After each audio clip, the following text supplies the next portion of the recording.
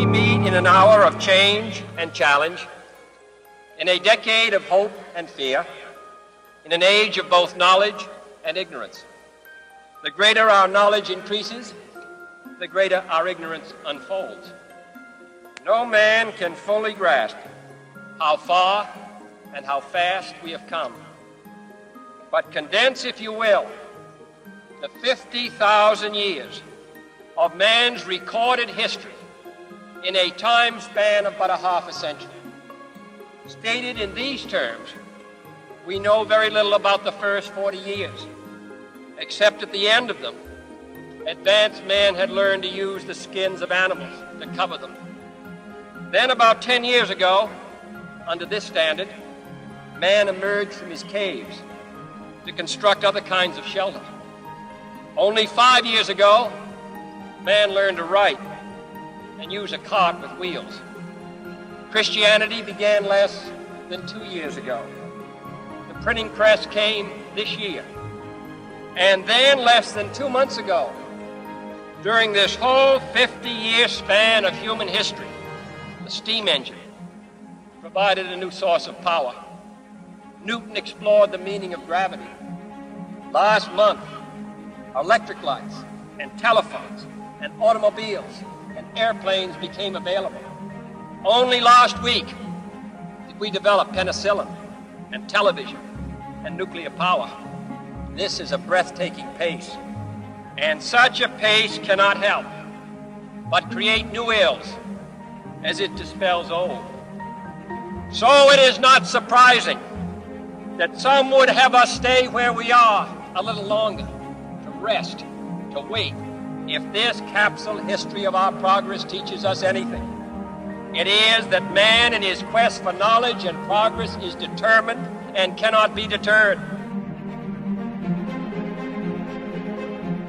We shall send to the moon, 240,000 miles away, a giant rocket more than 300 feet tall on an untried mission to an unknown celestial body and then return it safely to Earth. But why, some say, the moon? Why choose this as our goal? And they may well ask, why climb the highest mountain? Why, 35 years ago, fly the Atlantic? We choose to go to the moon.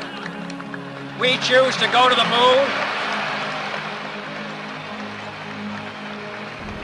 We choose to go to the moon in this decade and do the other things, not because they are easy, but because they are hard. Because that goal will serve to organize and measure the best of our energies and skills. Because that challenge is one that we're willing to accept, one we are unwilling to postpone. And therefore, as we set sail, we ask God's blessing on the most hazardous and dangerous greatest adventure on which man has ever embarked.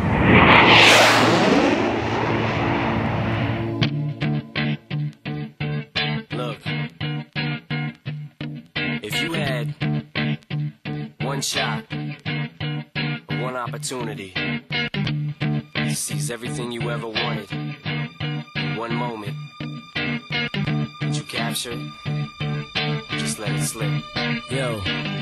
His palms are sweaty, knees weak, arms are heavy. There's vomit on his sweater already. Mom's spaghetti, he's nervous, but on the surface he looks calm and ready to drop bombs. But he keeps on forgetting what he wrote down. The whole crowd goes so loud, he opens his mouth, but the words won't come out. He's choking how? Everybody's choking now. The clock's run out, time's up,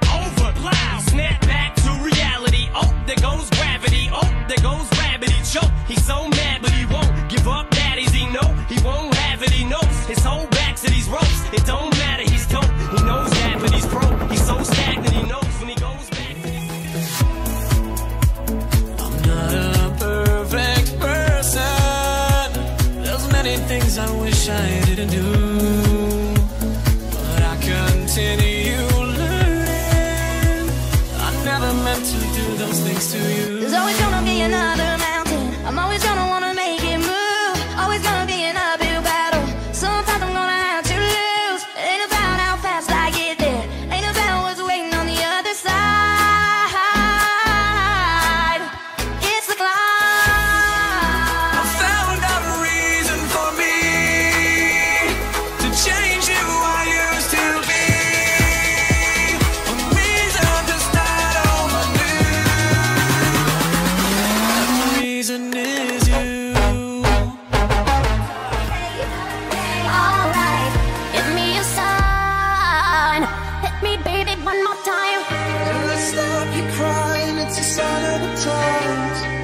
It's about time.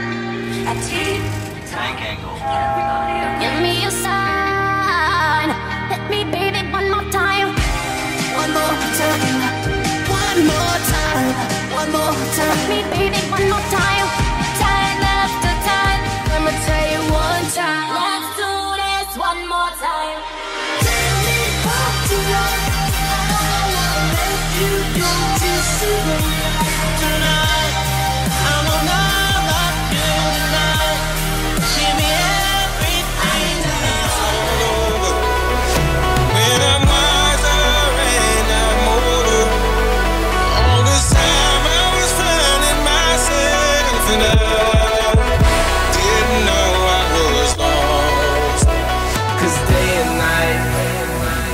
the lonely stoner seems to free his mind at night. He's all alone through the day and night. The lonely loner seems to free his mind at night.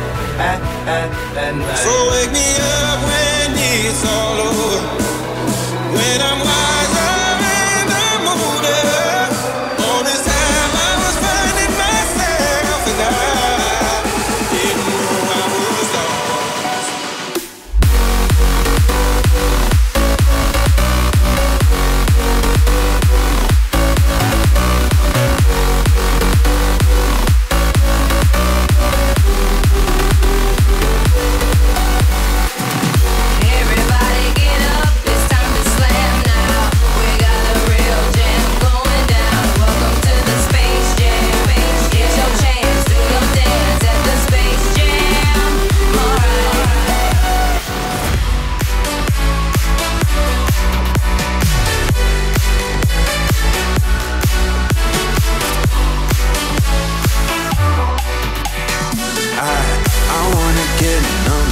and forget where I'm from.